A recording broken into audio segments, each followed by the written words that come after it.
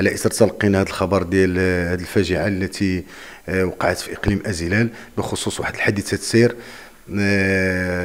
اللي الحصيلة ديالها واحد العشرة ديال الوفيات فيهم أساتذة تغمض الله وواسع رحمتهم وفيهم ما يزيد على 12 إصابة كاين ما هما أربعة الحالات اللي هي بالغة الخطورة اللي تم الاستشفاء ديالهم على الحين في المركز الاستشفائي الإقليمي ديال ازيلال وكاين ما هو تطلب النقل ديالو لمراكز أخرى كتزيد تخصصات وكتزيد النوع ديال المجال الاستشفاء على هذا الخصوص.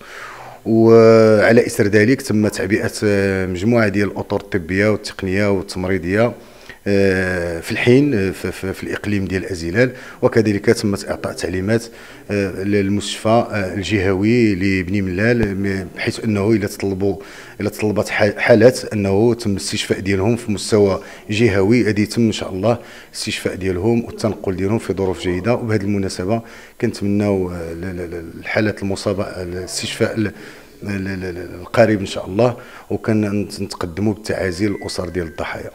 آه، حالات المصابين هما قلت كاين 12 حاله ديال إصابة آه، فيهم أربعة ديال الحالات اللي هما إصابات بالغه والتبقي كيتمثلوا الشفاء إن شاء الله وغادي يكونوا في أحسن الظروف إن شاء الله. شكرا.